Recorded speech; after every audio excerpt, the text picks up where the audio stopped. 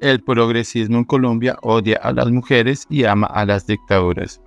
Su silencio frente a los insucesos ocurridos en Venezuela e Irán así lo prueba. Por Alejandra Carvajal. Para semana. María Corina Machado muy seguramente podría ser la próxima presidente de Venezuela. Eso Nicolás Maduro lo tiene claro y es por eso que Tajo le cuartó toda posibilidad para participar en las elecciones de ese país. Maduro le dijo al mundo hace un par de días que, por las buenas o por las malas, sería elegido el nuevo presidente. ¿Será que quiere terminar sus días como Manuel Antonio Noriega? Aún Estados Unidos no ha mostrado al mundo una hoja de ruta clara sobre qué hacer con Venezuela pero el condenar al dictador venezolano y llevárselo por narcotráfico a la Unión Americana seguramente es una alternativa posible para los norteamericanos. El problema migratorio que se está generando no solo en Colombia sino en ese país es monumental. Incluso un buen porcentaje de votantes estadounidenses aducen en las encuestas que no votarán por Biden, pues consideran débil su política migratoria. Si el actual presidente de Estados Unidos quiere reelegirse, deberá encontrar una solución a la grave crisis de la democracia de nuestro vecino país.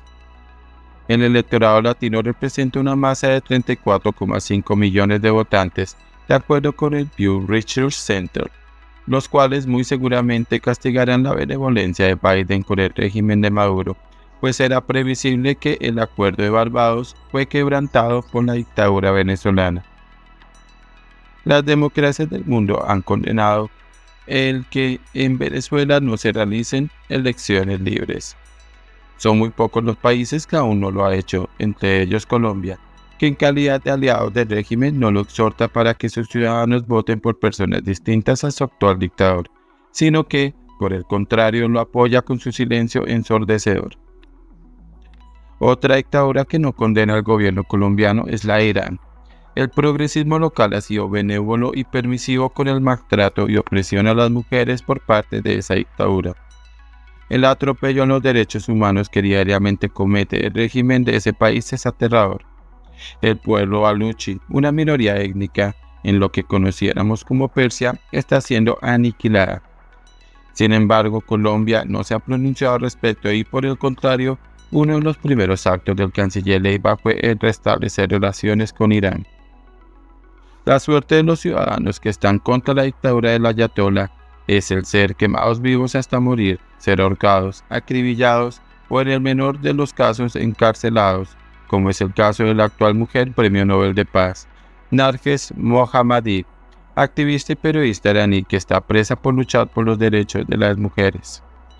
¿Acaso las mujeres iraníes carecen de valor para el movimiento progresista? Ellas también tienen derechos, al igual que los baluchis y los opositores al régimen.